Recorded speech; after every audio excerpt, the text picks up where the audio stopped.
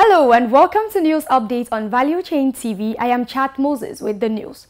Another news update, Lagos, Kano and 10 other states have concluded plans to start generating power in conformity with the Electricity Act of 2023. Value Chain TV gathered that some of the states had established their electricity market laws and were waiting for the approval of the Nigerian Electricity Regulatory Commission to have independent regulatory bodies different from the NEC owned by the federal government.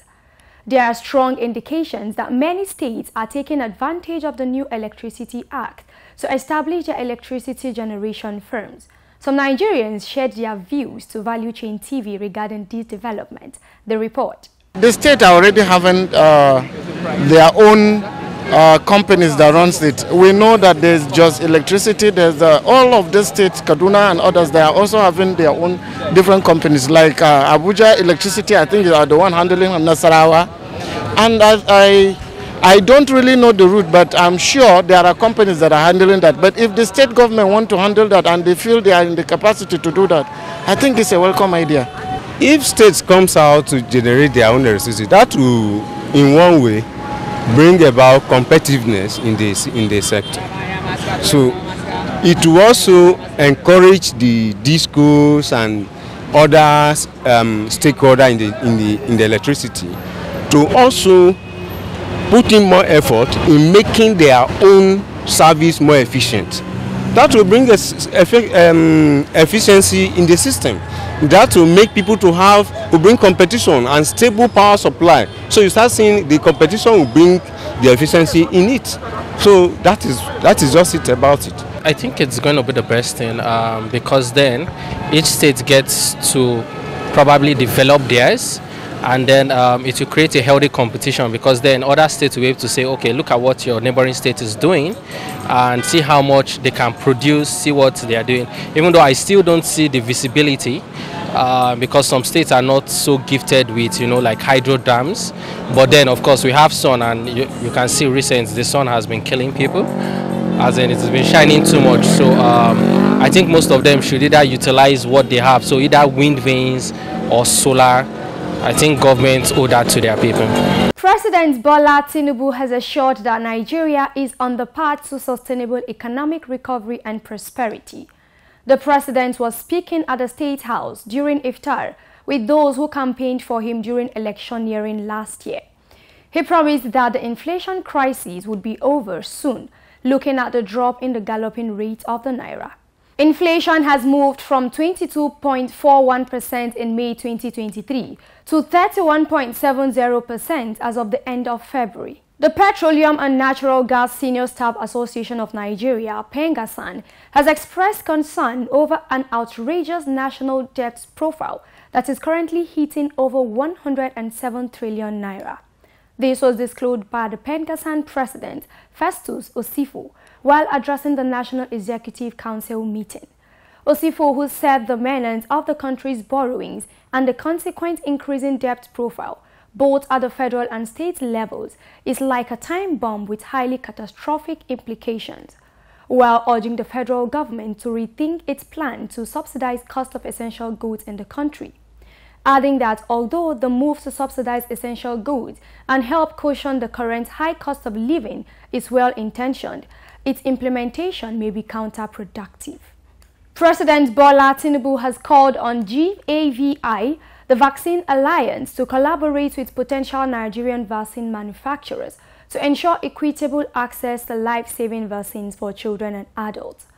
Speaking at a meeting with a delegation of GAVI led by its Chief Executive Officer, Dr. Sania Nishtar, at the State House, President Tinubu said partnership on local vaccine production has become necessary due to the challenges faced by developing countries, especially during the COVID-19 pandemic and other infectious disease outbreak.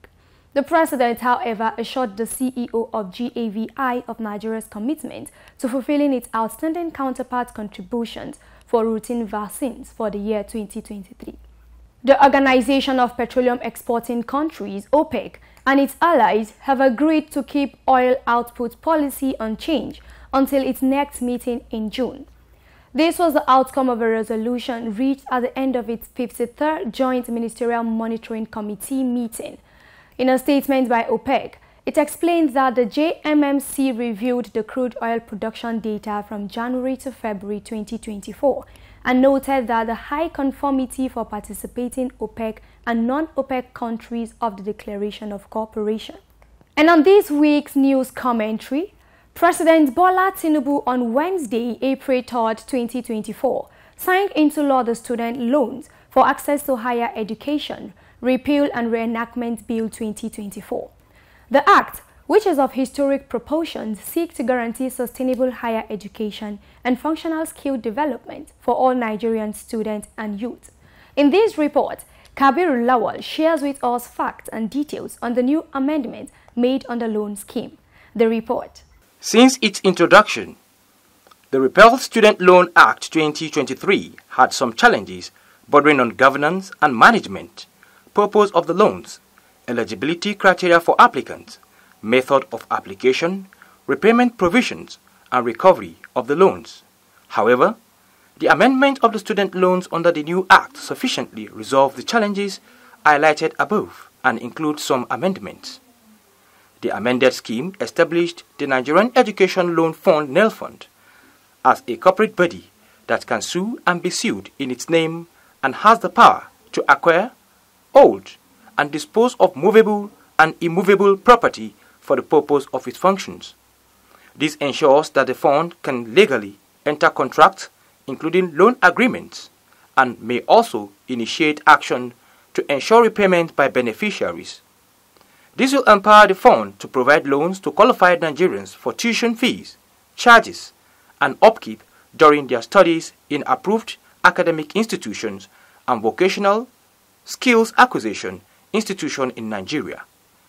It will also empower them to build, operate and maintain a diversified pool of funds to provide loans to qualified applicants and ensure access to higher education, vocational training, and skills acquisition. The amended scheme also separates the governance function from management operations of NELFund by establishing a board of directors with a chairman and a secretary.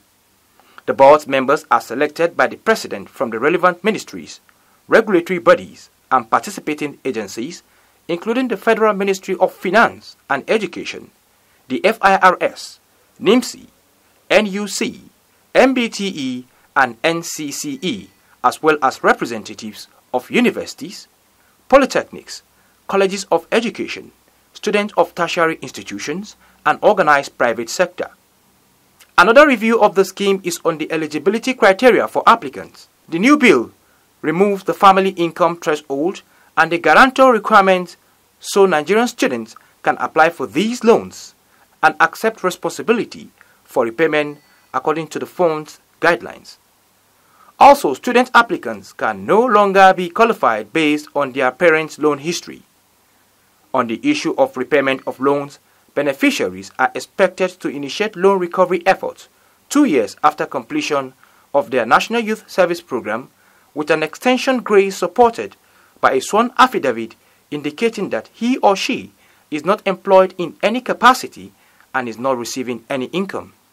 However, a person who provides a false statement to the fund under this section is guilty of a felony and is liable to imprisonment for three years in the event of death or act of God causing inability to repay, the new bill makes provision of loan forgiveness. The act effectively removed the previous encumbrances found in the first iteration of the act and paved the path for the protection of Nigerians' future by ensuring that the citizens have the means to fund their education, acquire critical skills, and become productive contributors to national development. The question on the lips of many stakeholders is whether or not government will proceed to increase tuition fees by further recognition of the autonomy of the nation's public tertiary institutions.